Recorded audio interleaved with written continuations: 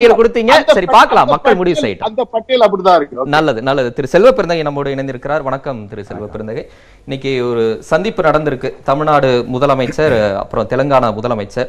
பொதுவா இப்பயே இரண்டாயிரத்தி இருபத்தி நாலு மக்களவை தேர்தல் களம் சூடு பிடிக்க தொடங்கிருச்சு. இப்பயே ஒரு மாற்று அணிக்கான முயற்சி அப்படின்னு மம்தா காங்கிரஸ் அல்லாத அணிக்கு போயிட்டாங்க. இப்ப மாநில கட்சி தலைவர்கள் சந்திப்புமே இந்த கூட்டணி பேச்சை இன்னும் கொஞ்சம் சூடு பிடிக்க வைக்கிறது தொடங்கி இருக்கு இவர்களுடைய சந்திப்பை எப்படி புரிஞ்சுக்கிறது? வெறும் அரசியல் மரியாதை நிமித்தமா இல்ல ஏதாவது கணக்குகள் இருக்கும்னு நினைச்சுக்கிறதா?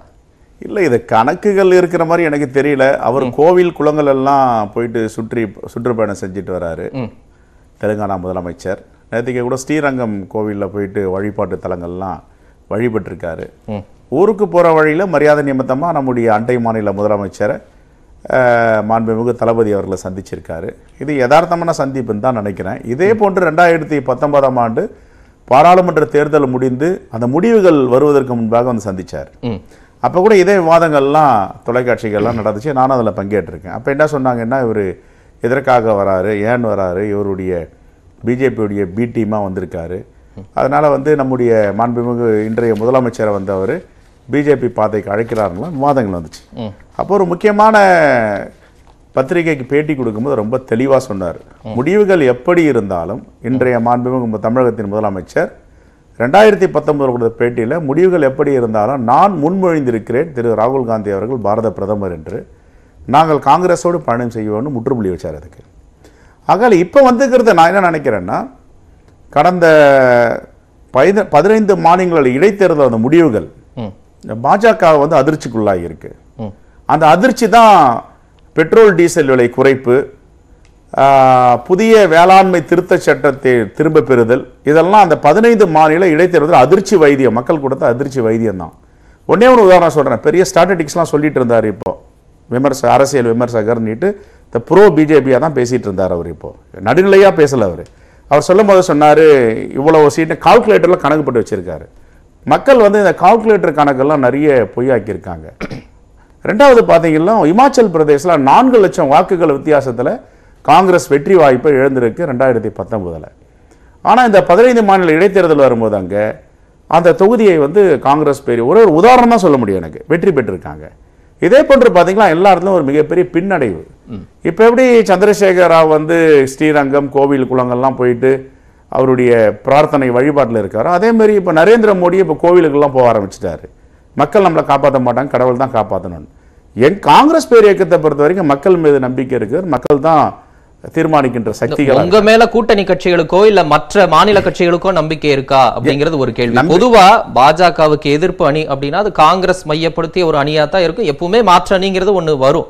ஆனா இந்த முறை ரொம்ப சீக்கிரமாவே காங்கிரஸ் அல்லாத அணி அப்படிங்கிற பேச்சு ஆரம்பமாகி அது தொடர்ந்து போய்கிட்டு இருக்கோ அப்படிங்கிற ஒரு சந்தேகம். ஒரு பலவீனம் ஆயிட்டீங்க அதனால நீங்க இல்லாமலே ஜெயிச்சிடலாம் அப்படின்ற ஒரு நினைப்பு ஒரு நிலைப்பாடு வந்துருச்சு. மாநில கட்சிகள்லாம் கடந்த காலங்கள்லயும் அது மாதிரி நினைப்புலாம் வந்திருக்கு. நிறைய பார்த்துருக்கோம் மூன்றாவது அணியெல்லாம் சேர்த்திருக்காங்க. மூன்றாவது அணியெல்லாம் வெற்றி பெறவில்லை என்று எல்லாருக்கும் தெரியும். நீண்ட நெடிய நாட்கள் அந்த மூன்றாவது அணி இருப்பதில்லை ரெண்டாவது பார்த்தீங்கன்னா இப்போது ச- சந்திரபாபு நாயுடு சொன்ன ஸ்டேட்மெண்ட் தான் இப்போ ஞாபகம் வருது. அவர் என்ன சொன்னார்னா இந்த மூன்றாவது அணி நான்காவது அணி எல்லாம் வாய்ப்பு இல்லை. காங்கிரஸ் பேரியக்கம் ஒரு பக்கம் பிஜேபி இந்த ரெண்டு அணிகள் தான் நிற்கும் அது மக்களுடைய தீர்ப்பு வந்து இந்த ரெண்டு அணிகள் மத்தியில் தான் இருக்கும்.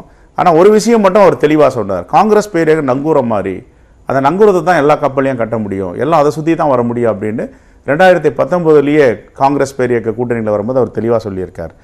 இப்போ மக்கள் என்ன பார்க்குறாங்க என்ன தீர்ப்பளிச்சுக்கிறாங்கன்றது நாடே அறியும்.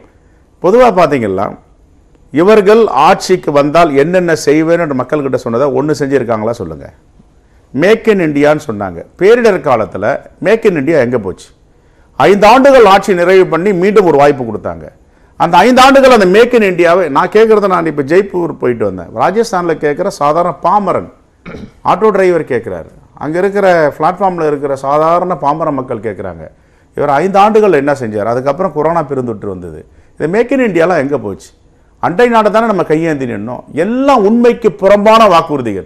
ஒரு வாக்குறுதி கூட நிறைவேற்றல. சரி ஒரு சின்ன சந்தேகம். இதே மாதிரியான பிரச்சாரத்தை இந்த கேள்வி நான் நீண்ட நாளாவே கேட்டுக்கிட்டு இருக்கேன்.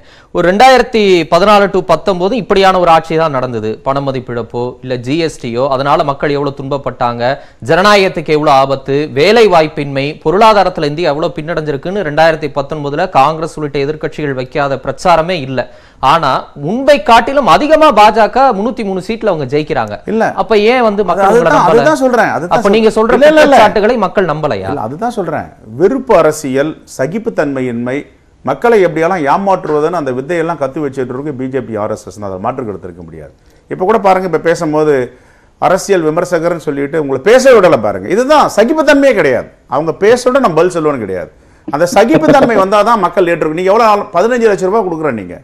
ஒரு ஒரு வாக்காளருக்கும் நான் ஆட்சிக்கு வந்தா வேளாண்மை விளைபொருட்கள்லாம் நான் ரெட்டிப்பாக்குவேன்னு சொன்னார். விவசாயிகளுடைய வருமானம் ரெட்டிப்பாக்குனார். எங்க ரெட்டிப்பாச்சு?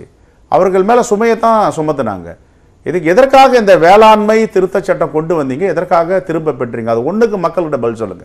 இந்த தேர்தலில் மக்கள் கேட்க போறாங்க உங்களை உங்களுடைய மேக் இன் இந்தியா என்னாச்சு? நீங்க சொன்ன வாக்குறுதி என்னாச்சு?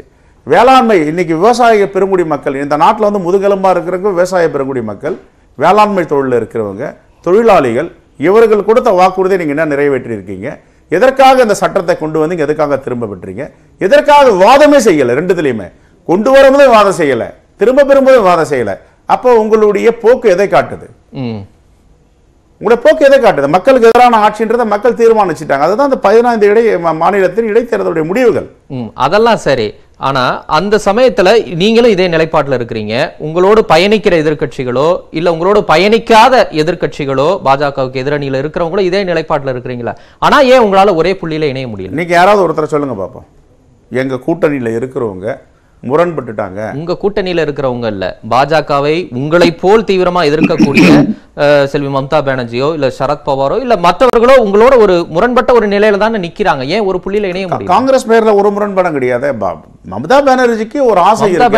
எல்லோருக்கும் ஐக்கிய. முற்போக்கு கூட்டணி எல்லாம் இல்லவே இல்லன்ட்டாங்க. எல்லோரும் சரத் பவார் உங்களோட முரண்பட்டு தான் நிக்கிறாரு. இல்ல அவர் எப்ப முரண்படல எங்க கூட்டணி தான் இருக்காரு. அவருடைய கருத்து எப்பவுமே ஓப்பனா வெளிப்படையா பேசக்கூடியவர் பேசிட்டு இருக்காரு. கருத்து அதான். சொல்றாங்க இல்ல நான் சொல்றேன். எங்களுடைய கூட்டணியில தான் கருத்து சுதந்திரம் உண்டு எழுத்து சுதந்திரம் உண்டு பேச்சு சுதந்திரம் உண்டு எல்லா சுதந்திரம் உண்டு. அங்கெல்லாம் பேச முடியாது. ஆகையால தான் சந்திரபாபு நாயுடு அங்கிருந்து எங்க கிட்ட வந்தாரு ஒருவேளை ஒற்றுமையா இருக்கிறாங்களா?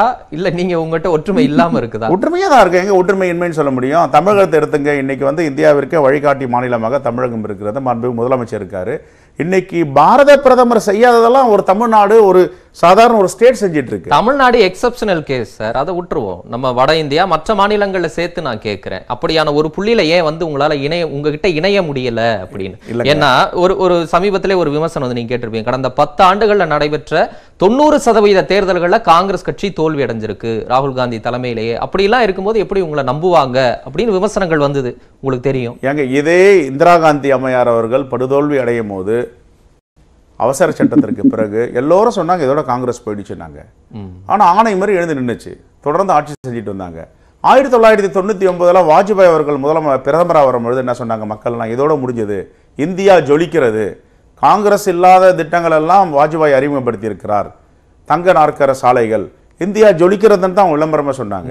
அதுக்கப்புறம் ரெண்டாயிரத்தி நாலுல இருந்து பதினாலு பத்து ஆண்டுகள் வந்து ஆட்சி செய்யற வாழ்ப்பை காங்கிரஸ் பேர் இயக்கத்திற்கு கூட்டணிக்கு கொடுத்தாங்க. இப்பவும் அதுதான் சொல்றேன். இவர் வந்து வாஜ்பாயை விட பெரிய உயர்ந்த பிரதமர்லாம் கிடையாது. நீங்க கம்பாரிசன் பண்ணி பார்த்தீங்களா? நரேந்திர மோடி அவர்கள்.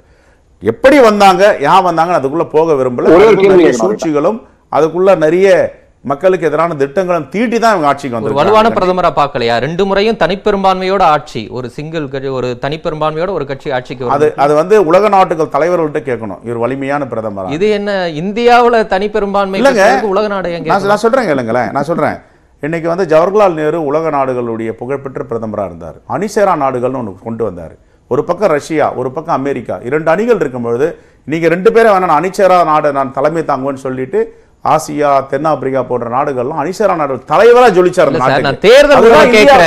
நாடுகள் சர்வதேச உறவை பிர- கேட்கல. பிரதமரை வாஜ்பாய் அவர்கள் பெற்ற எண்ணிக்கை எவ்வளவு இடங்கள் தேர்தல் அரசியல் கணக்குல மோடி பெற்ற எண்ணிக்கை எவ்வளவு அப்படிங்கிறது தான் கேள்வி.